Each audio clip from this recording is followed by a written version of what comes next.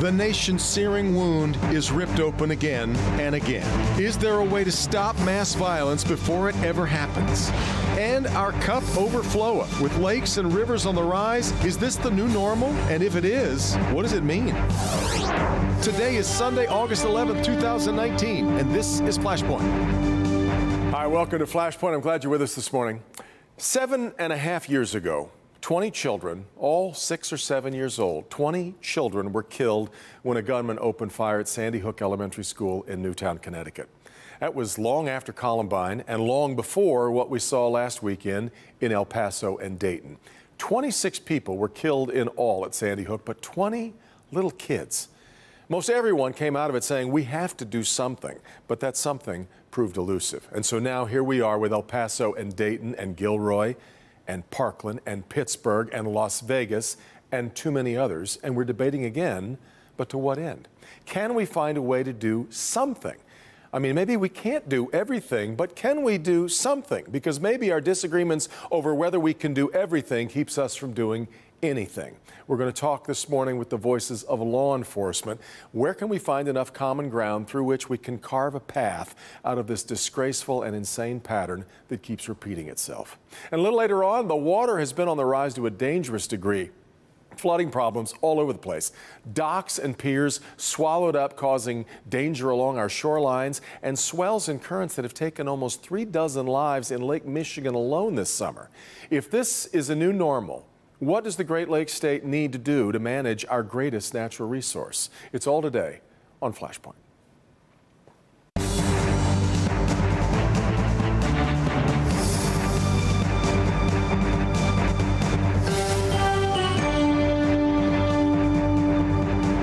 Well, the last week has been dominated by worries over these mass sprays of violence that hit El Paso and Dayton, but those were merely the most recent. For most of us, it can be a passing concern, but for some, it's their job to worry and strategize over imagining the worst. And I have three such people with me today. First, Wayne County Sheriff and the former police chief of the city of Detroit, Benny Napoleon, is here. For 27 years, he's been the Washtenaw County prosecutor. Brian Mackie is with us, and the U.S. Attorney for the Eastern District of Michigan, Matthew Schneider, back with us again. Gentlemen, thanks very much for being here. I Brian, do. I'd like to start with you because you said something just before we started this conversation that is chilling and goes to the heart of the problem.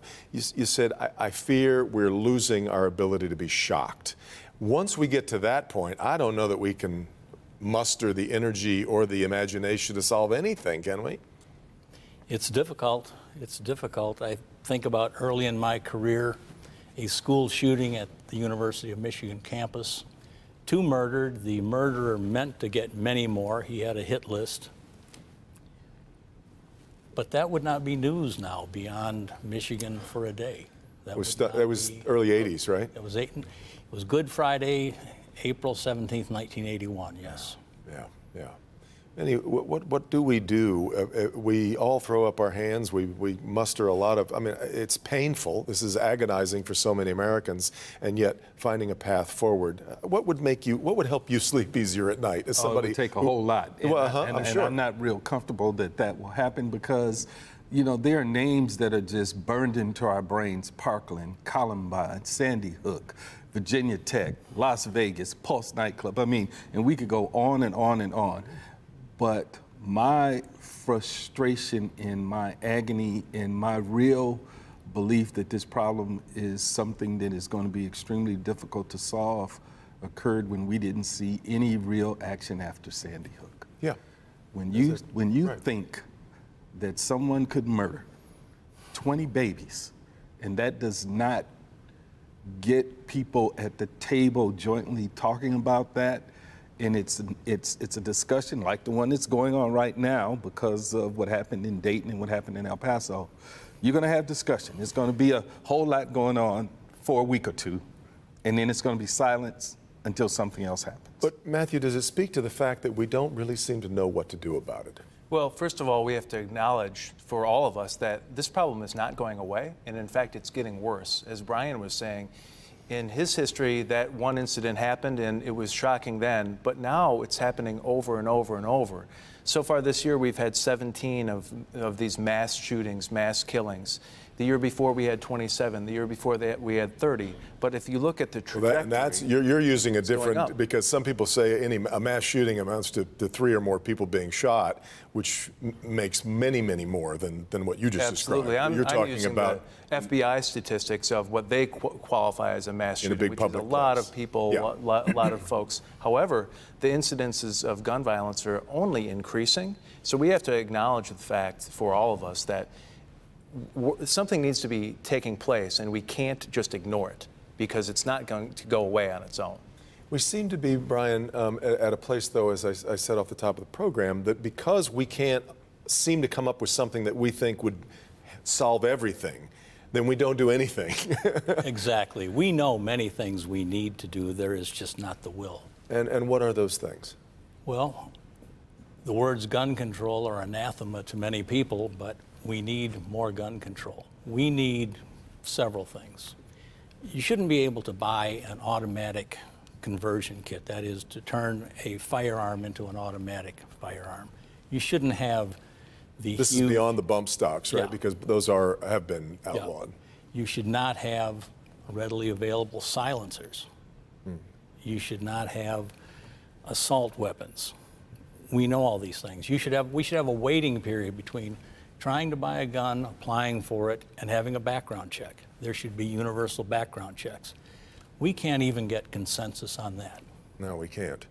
Uh, go ahead. When you, when, you, when you really look at it, those of us in law enforcement have been uh, advocating for a long time about the ban on assault weapons. I mean, if, if you look at these mass killings, the one thing that is in common is the type of weapon really that was used. You can't go in and kill 20, 30, 40, 50 people without something that has uh, the capacity to be automatic in a large magazine capacity. If we all know that, that's the common denominator with all this we support i support those in law enforcement support the second amendment but there should be limits on what you can and cannot it- own it's interesting because I, I, I think there's general agreement that I shouldn't be allowed to buy a bazooka. Correct. Or an anti-aircraft weapon. Um, so everybody's agreeing, I guess, by saying that that there is a line. We're just arguing over where the line is, right?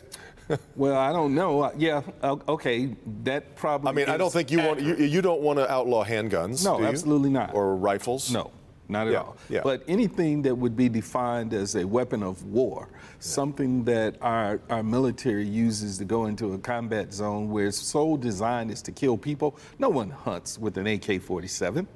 You know, no one's hunting with a lot of these AR-15s. These are these are weapons of mass destruction, and I think that uh, you know we have to recognize what they're used for and and and restrict who gets to own those kinds of weapons. You know, I don't think that's necessarily the, the total solution for us. Not That- totally. Right, because. But that's what is, is it a solution? Because that's Well, what I'm I- back to something I- versus I don't, anything. I don't know that it is because you can make any laws about you know restricting any types of weapons. If you're a criminal and you want to get a gun, you're going to get a gun. What what we need more is more awareness in the community. There have been so many warning signs of these shooters that people have been told ahead of time. I, that person told me that they wanted to kill somebody. That person told me that they wanted to commit acts of violence. Well, if you have that knowledge, it's incumbent upon you to come to law enforcement and explain that so that we can all work together and take steps. Is there a reason not to have a red flag law like that then? Well, the policymakers can make whatever laws that they want. Whether you have a red flag law or not, it's still incumbent upon citizens to take their own affirmative steps and call local law enforcement and say, I have a suspicion that this person told me that they want to kill somebody. You should look into that. A- anybody can do that, whether you have a law on the books or not.